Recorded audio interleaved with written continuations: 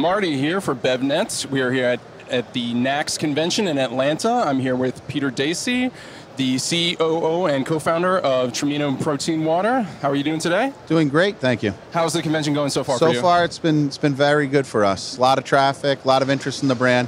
We're pretty excited. That's great. How has it changed from last year? What's been going on in, in the past year? Uh, it's been a big year for us, actually. Our we last year we were mainly in Connecticut, Massachusetts. We've had a lot of expansion. We're in Texas. We're working our way down the East Coast now. Um, lots of distribution. In our volumes probably increased about 400 percent.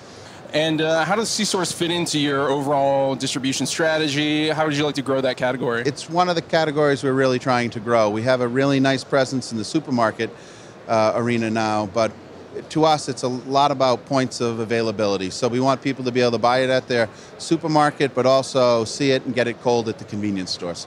So points of availability that are cold, convenience is a big play for us. and it's it sort of crosses several different categories. It's a protein uh, drink, but it's a water. How do you guys uh, fit into the coolers and different sections at the store? Yeah, it's a, it's a great question, and a lot of times uh, when we're pitching to a, a channel, they'll ask us where we fit. And mainly, if, if a store has a functional cooler, we fit in there quite well. Nearby, a coconut water, uh, drinks that have a little bit more functionality. We're not generally in the milk or where muscle milk might be, so we stay more on the functional set.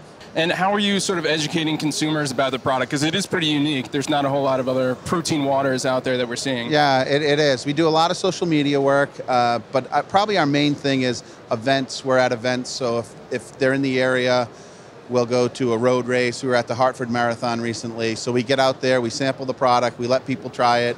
You know, it's interesting because people sometimes are a little hesitant. They're like, oh, protein, and then they taste it, and actually, we find that they really like it. So, you know, being out, getting it in front of consumers, getting people to sample it, that's really one of the big ways we're pushing it. You guys have four SKUs at the moment, is that right? Yep, currently have four. Okay, anything new in the works or anything we can look forward to in the 2017? Yeah, we have some new flavors. Um, we've actually been working on that with our with our flavor chemists, so we're excited about a couple of new flavors. Probably next year, though. Right now, we're we're pretty comfortable with the four we have. Anything new with formulation, or what's the where's the next step you can take the uh, the drink? Yeah, that's an interesting point. So we are. I mean, I think there's some other degrees of functionality that we'll look at.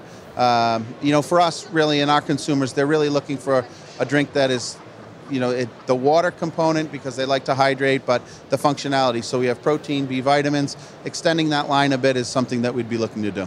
Excellent. Well, thank you so much for your time, Peter. Well, thank you. Appreciate it. Enjoy the rest of the show. Thank you very much.